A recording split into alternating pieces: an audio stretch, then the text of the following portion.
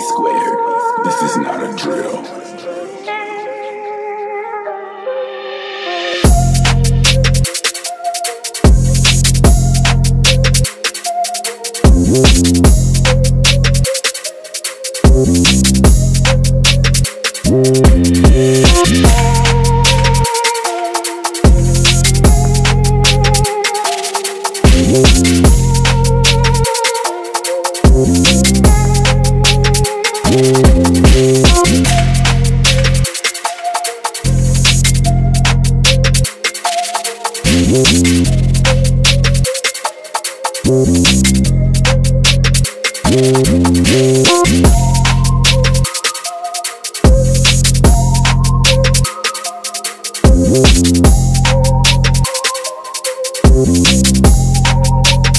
Whoa.